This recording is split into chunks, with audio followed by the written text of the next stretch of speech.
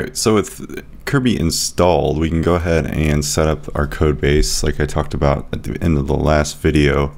I went ahead and CD'd into this folder, the root folder of this project. If you list it out, it has just some other folders and some files to go along with it. Again, this this CMS is in PHP and it's pretty pretty easy to write, pretty easy to navigate. So uh, hopefully I won't stumble my way through this, but we will see. I'm going to open this. I'm using Sublime. I'm going to try to make things legible for you guys so it's not so hard to see.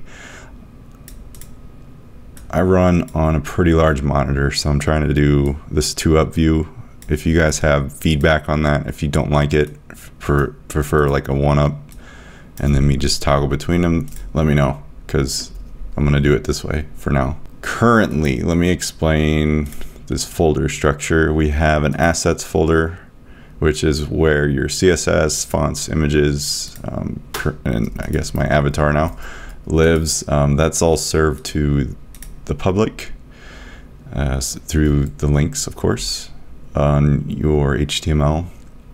Uh, the content is, is what gets generated when you do make stuff from the CMS itself. You wouldn't normally make this by hand. It kind of defeats the purpose, but if you need to, I'm sure you could. It would, I think, sync back to the CMS. So if you created a new folder, named it five, and um, I don't know, portfolio or something. I don't know, something like that. It would show up here. So uh, there is an error page just because you need one of those. There is a home page. And if you look in the content inside here, zoom back in a little bit, uh, is, is essentially markdown in the end that gets rendered to HTML. Uh, but it has this front matter on it that uh, is smart and these bits here, these titles are actually the fields that end up in your CMS here. So if you see those match up, there's intro on this side, there's intro there, that content's there, and that's the same there. Uh, like I said, it used in the last video, this uses YAML as kind of this way to generate this content, or at least establish it. In doing that, you would look into the site folder and in blueprints and all that stuff is here. If you never worked with YAML before, it's a pretty simple language. It is space sensitive, so you want to indent properly. Um, so each each new thing is a tab, is the way I do it. And the actual vertical height doesn't matter too much, just as long as the indentation is is you know pairing up with the previous line. So here, these this is where these things get established. Like I said, if we wanted to change this to, I don't know, introductory, Terry, I can't spell. And then refresh, there it goes over there. It's pretty so simple, so pretty cool. It's pretty easy to um, create these new fields, which I really like. It's there's no clunky UI to work with like advanced custom fields if you've used with uh, that with WordPress or anything before. A lot of these files are name sensitive, so you have to be sure some of these things match to get everything to work properly. So we'll get into that as we move on. Uh, but again, in the site, there's stuff for the accounts that gets generated there's a config file. This one's pretty useful to optimize your development workflow. There's one thing I want to turn on is the, it's, it's config something and then true or debug. I think if we go like this, see again, here's where that license would come into play if you do go live and purchase this production version. So I think here is debug and we don't want a string here but actually true. So then if it errors we should get uh, feedback which it has a really good error UI I. Was I was pleasantly surprised. Hopefully I guess if I error out you'll see it. So if you want to view the front end of the site I didn't actually well I did in the last video. I showed you guys what it looked like but that's as simple as it is right here. One thing I noticed is it doesn't really include forms like a contact form, so you might have to use a third party or something like that, which is fine, but it's something else to think about because uh, I know we'll obviously want a contact form. Uh, controllers are these extra ways to, I don't know, basically build out functionality to return data back. Uh, think of it as a functions file in, inside of WordPress. So this one in particular, it's it's smart in rendering the um, the blog functionality. You can do per page, the articles, and it goes down basically this hierarchy of stuff. We won't be using the blog functionality here, so I'll probably end up deleting that. But if you decide you want to use it, it comes out of the box working pretty well, but there are extensions you can add as well. Most of the work we'll be doing is in the blueprints and templates files. These these are the actual files you're probably used to seeing um, in terms of HTML content. So uh, the about page matches this one here. There's blocks of repeatable content and blocks of unique content. This one in particular is unique simply because it is going through a page and finding the certain team member, which in this case is cats, um, and then uh, outputting those in a, like a loop fashion, just using a basic for each loop in PHP. And if you notice up here, there's a snippet. Those are pretty useful too. If you, it's just the same as I'd say WordPress, the template parts kind of thing going on there, or content parts. Um, same thing. So you can include just blocks of code that way, but it's called snippets.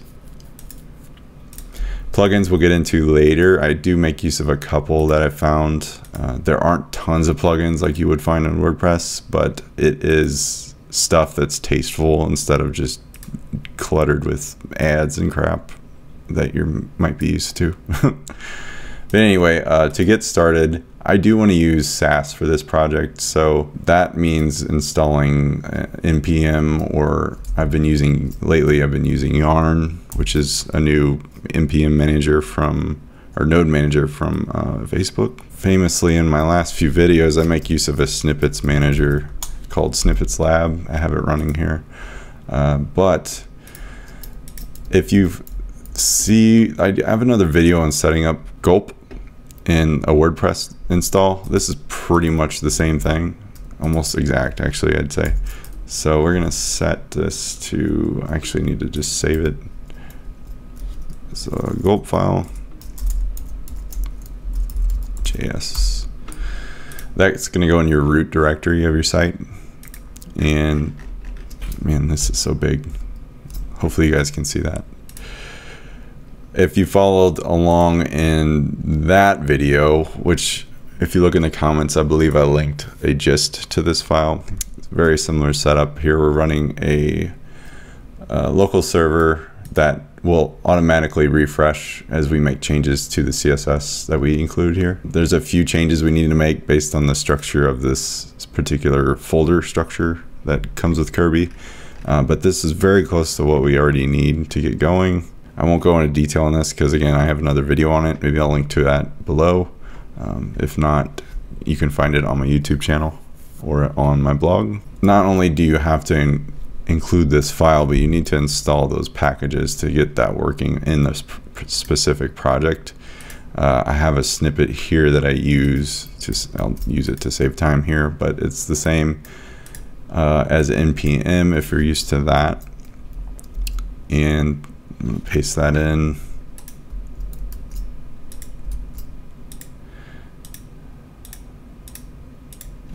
Cursor's kind of weird. So essentially Yarn will go out and fetch these packages. The main one we want to use is Gulp and then Gulp tailor fits all these other ones to do all these other things behind the scenes, which is cool. Uh, if you're not into the command line thing, that's perfectly fine. There are tools for that. There's one called Prepros or Pros or something that's for Windows and Mac.